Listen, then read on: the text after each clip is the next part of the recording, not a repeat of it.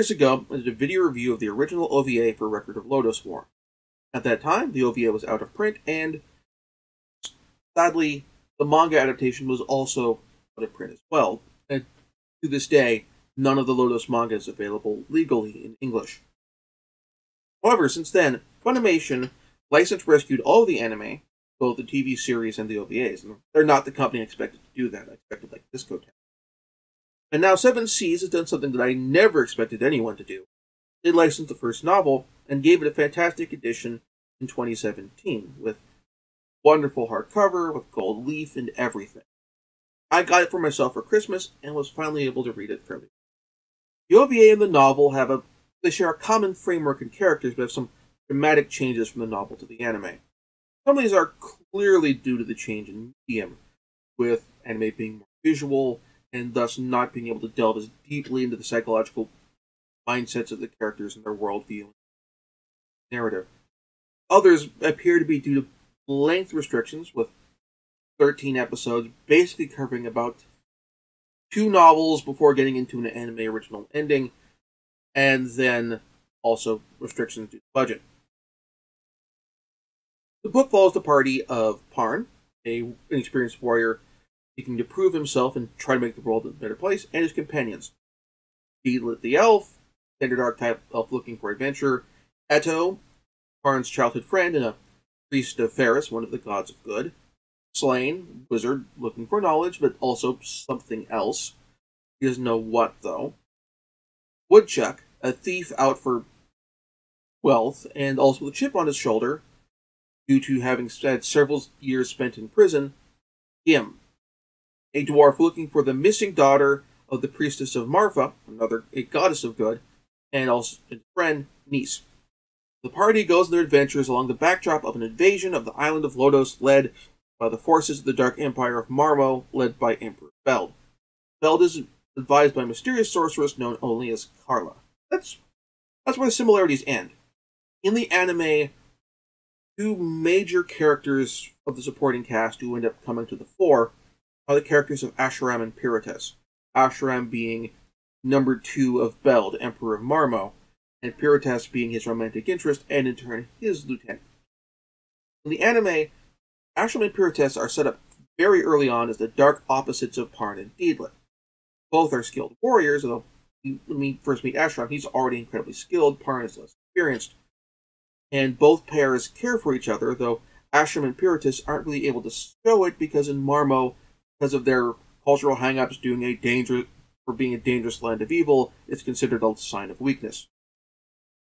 The anime, Ashram and Parn first meet during the sacking of an Elenian fortress, with Parn witnessing Ashram's attack and swearing revenge, and then further throughout the anime, when the narrative moves into the Marmo camp and we see what Beld is up to, in addition to seeing the plotting of Beld and Karla, you'll see Beld and Ashram together, again, setting up Ashram as Beld's number two, Ashram and Up the romance, and then the interrelationship between um, Asheram and Vagnard, Beld's court magician. In the novel, though, when we cut back to Beld and Karla, Ashram doesn't show up at all. He only shows up briefly at the conclusion of the book and the battle between the Empire of Marmo and the Valis Alliance, with Ashram reacting to the final duel between Beld and King Kashue and Pirotess doesn't show up at all. By comparison, Vagnard, Beld's court musician, is dramatically more visible, has a much more direct connection to our protagonists, though he and the heroes of Lodoss don't interact in this story at all. Leads to the other dramatic change. Much more time is spent in characters' backstory in this installment. The OVA, we get backstory for Parn and his goal to redeem his father's honor and memory, and Ghim and his goal to bring Lydia back to Nice. But here we get much more backstory for Woodchuck and Slayn. We learn about Slayn's time at the Wizard Academy, why he left, the connection through him and Vagnard. Vagnard was one of Slayn's classmates who was not only expelled, had a lock placed on his magic so he cannot cast spells without great physical pain, because he was expelled for casting dark magic. Also, the book sets up that Woodchuck had been incarcerated for almost 20 years for a heist gone wrong and was only just released, putting a chip on his shoulder that leads to him making a particular decision at the end of the story doesn't make in the anime. In the anime, the event that happens is completely involuntary.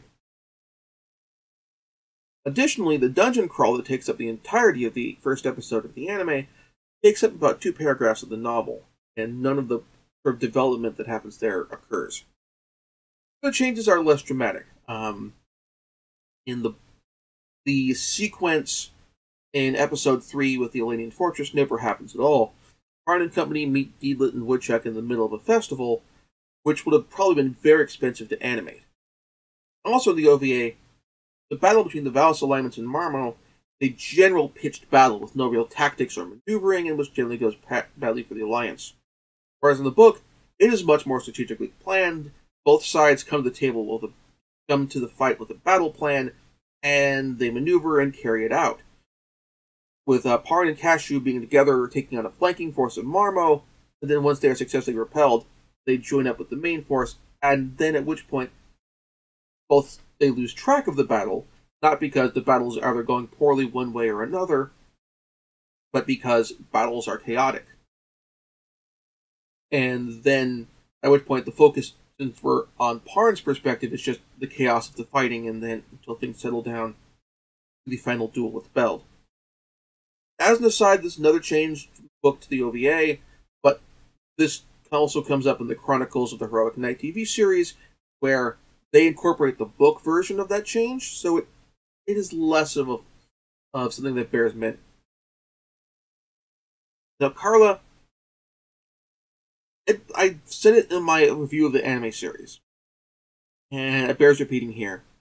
She is one of my favorite antagonists because her worldview is entirely consistent, but without necessarily being something that makes sense from a from a human perspective, because that's the point. She's lived so long and through so many bodies that she is that she does not think of things in a human way anymore. She's lost touch with her humanity. It makes her a more interesting and unique protagonist. Now, from the sounds of things, with um, discussion of the new source book for D&D 5th edition, where Mordenkainen, talking about his motivations, he's apparently been either retooled as to working similarly to Karla in terms of his reasons for doing what he does. But from I've done more research on this, near as I can tell, his depiction of his motivation as being similar to Karla's doesn't seem to appear until after Lodoss gets a US release in the 80s. I don't know if that aspect of the character was inspired by Lodoss. As Mordenkainen was a character from Gary's original game. It was then incorporated into the larger Greyhawk campaign setting, so I'd have to find out more from that. That seems like not something from the original game, from the original games. And certainly, Mordenkainen doesn't have quite the same justification behind his actions of having lived for centuries, millennia, and gone through numerous different bodies over the course of trying to carry out their goal. Now, The Grey Witch is not a groundbreaking novel now when it comes to modern heroic fantasy it like there are plenty of other books which have similar tone to them and similar scope from Gray from the uh, Dragonlance novels by Margaret Weis and Tracy Hickman to numerous other Dungeons and Dragons like novels, and certainly with as with Legend of Galactic Heroes, it's a genre that become well trod, and even within Japanese animation, numerous works have paid reference to Lodoss and been inspired by it.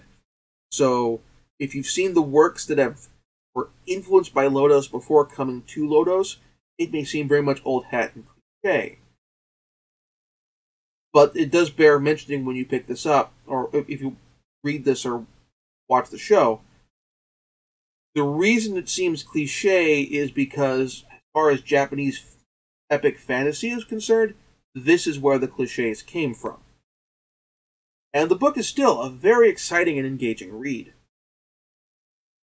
Uh, the Grey Witch is available from Amazon.com and Right Stuf.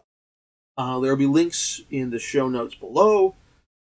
Picking up the book or anything else for that matter through those links will help support the show, particularly since we're, I'm no longer monetized. So until next time, thank you very much for watching. See you then.